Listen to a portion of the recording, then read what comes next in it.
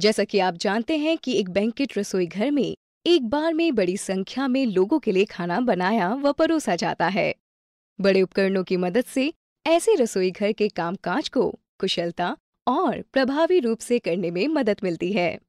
शेफराज ने हमें उसके रसोई घर को इस्तेमाल करने की अनुमति दी है। आइए देखें कि उनके पास कौन कौन से उपकरण हैं। यह कीमा बनाने की मशीन है। यह आपको बिना हड्डी वाले मांस का महीन कीमा बनाने में मदद करती है। आप इसका इस्तेमाल लाल मांस का कीमा बनाने के लिए या विभिन्न प्रकार के मांस को एक साथ मिलाने के लिए कर सकते हैं।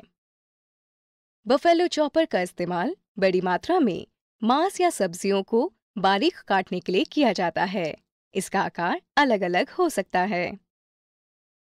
वेजिटेबल प्रोसेसर कई समायोजनों वाली एक ऐसी मशीन होती है जो किसी भी सब्ज़ी को विविध प्रकार से काट सकती है।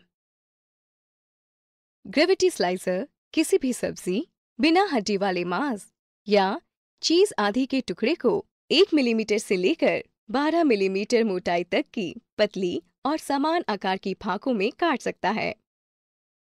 टिल्टिंग पैन्स ऐसे बड़े बड़े कुकिंग पैन होते हैं, जिनसे सूप या तरी की बड़ी मात्रा को बिना पूरा पैन उठाए किसी दूसरे बर्तन में आसानी से स्थानांतरित किया जा सकता है। उन्हें हाथ से या किसी मशीन की सहायता से झुकाया जा सकता है। स्टीमर का उपयोग बड़ी मात्रा में चावल और सब्जियों को पकाने के लिए किया जाता है। इनमें एक बार में 150 किलोग्राम तक की मात्रा पकाई जा सकती है।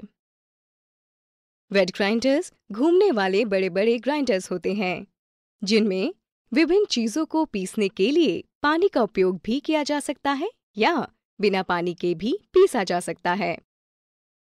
कॉम्बी ओवंस का उपयोग किसी भी खाद्य सामग्री को भाप में पकाने या उसे सूखा भूनने के लिए किया जाता है।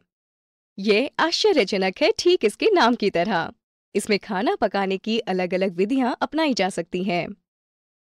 कन्वेंशनल डेक अवन वो उपकरण है जिसमें केक और बिस्किट्स बेक किए जाते हैं। पिज्जा अवन्स पिज्जा बनाने वाली बड़ी बड़ी भट्टियाँ होती हैं। इस अवन में तापमान बहुत ज़्यादा होता है, इसलिए इनका इस्तेमाल करते समय आपको हमेशा सावधान रहना चाहिए। सालामेंडर रसोई घर का ऐसा उपकरण होता है, जो खाद्य सामग्री को ऊपर या नीचे ड्राई हीट देता है। क्या आप ये जानते थे? वॉक इन फ्रीजर मांस को हफ्तों तक कीटाणुओं से सुरक्षित रखता है। प्रोसेस्ड और अनप्रोसेस्ड दोनों ही प्रकार के मांस अंदर रखे जाते हैं। और शेफ अंदर जाकर अपनी आवश्यकता अनुसार जो उसे चाहिए, उसे लेकर बाहर आ सकता है। वहीं दूसरी ओर रिच इन रेफ्रिजरेटर वो होता है, जिसमें बार बार इस्तेमाल होने वाली वस्तुएँ रखी जाती हैं, ताकि उन्हें जल्दी से निकाला जा सके। ये बहुत कुछ हमारे घर के रेफ्रिजरेटर जैसे ही होते हैं।